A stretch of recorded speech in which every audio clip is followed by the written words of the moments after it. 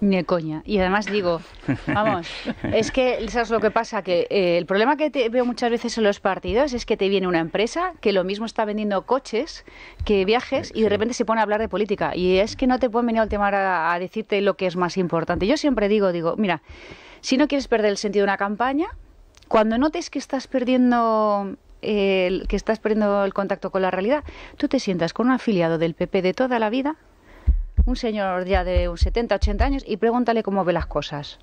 Y te dirá que esto es una estupidez, que esto es una frivolidad, que eso es un error, que eso no le representa. Entonces nosotros tenemos a los mejores publicistas, que son los afiliados y especialmente pues sí, y los mayores. descalzado Eh, para hacer la campaña de verano azul bueno, nada, pues yo tampoco. en una playa artificial. Sinceramente tampoco.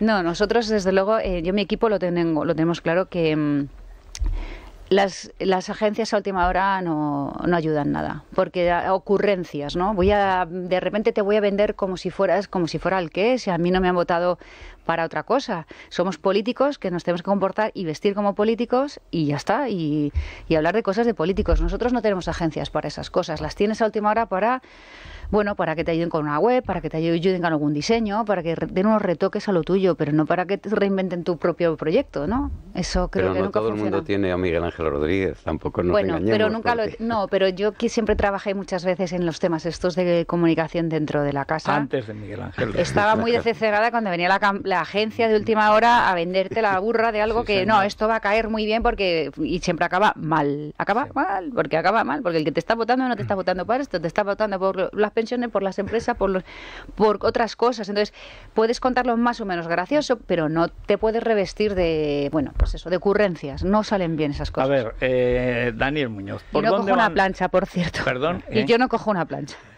Ya está, hombre, Bueno, si ni puedo ella tampoco. si yo tuviera, según, hombre, la- según las planchadoras de Logroño una- que nos Pero llamaron ayer, sí, tampoco. está- ¿eh? En su casa sí. Eh, vamos a ver, ella con una casa de 443 metros te digo que no sabe ni dónde la tiene la no sé, yo eso lo ignoro, pero digo que usted no coge una plancha en una fotografía pública, pero digo que en su casa sí. Pues lo justo, mira, muchas veces no me pongo algo si no está, no, lo que menos hago, no puedo, lo siento, no me, si no me queda más remedio, sí, claro, pero si no me queda más remedio, si no, en fin, cógete lo que tienes al lado, ¿no? Tienes tres cosas, ella no tiene armario, ¿no? Para cambiarse. ni Casi idea. nada. No tiene ninguno, además, No, ¿no? no, Todo no, el día, no. los la pobre todos los días con lo mismo puesto está. Pasionaria.